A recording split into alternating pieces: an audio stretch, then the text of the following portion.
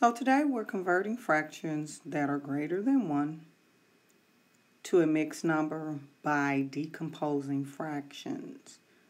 So let's go ahead and get started. So I have 10 thirds and I know that this is a fraction that is greater than 1 because my numerator is larger than my denominators. So before I can decompose this fraction, I have to identify my unit fraction, which is one third or third. So that lets me know that I need to partition each tape diagram into thirds. So this will give me three thirds. Now, when using decomposing to convert to a mixed number, we're going to use the operation subtraction because in this we're actually pulling out all of the whole numbers. So I've taken out one, one group of 3 thirds, so I'm going to subtract that from the 10 thirds. So 10 thirds minus 3 thirds equals 7 thirds.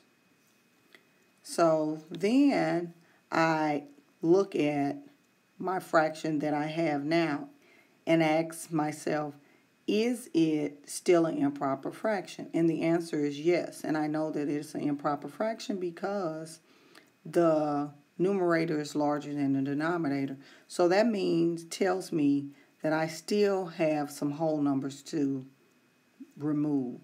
So I'm going to partition my second tape diagram.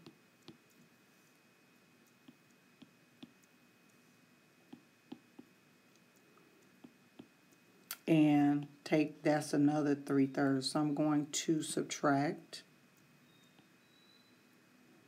7 thirds minus 3 thirds is going to give me 4 thirds. So now I have to stop and think again is this still an improper fraction? And the answer is yes, because the numerator is larger than the denominator.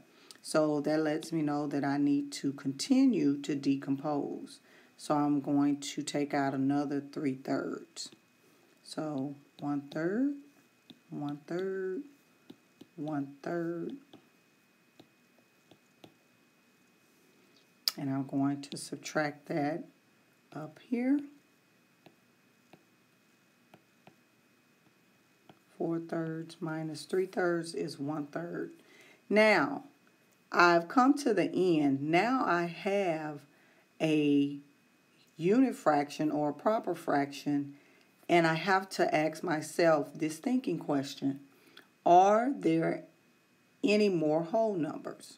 No, there's not any more whole numbers because I know that a fraction that is greater than 1, 1 whole, has a numerator that is larger than the denominator, and that's not the case here.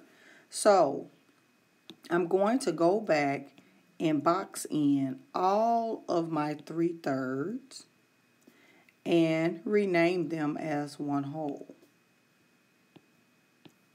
And this is going to let me know what the whole number is in my mixed number. So 1 plus 1 plus 1 plus 1 equals 3.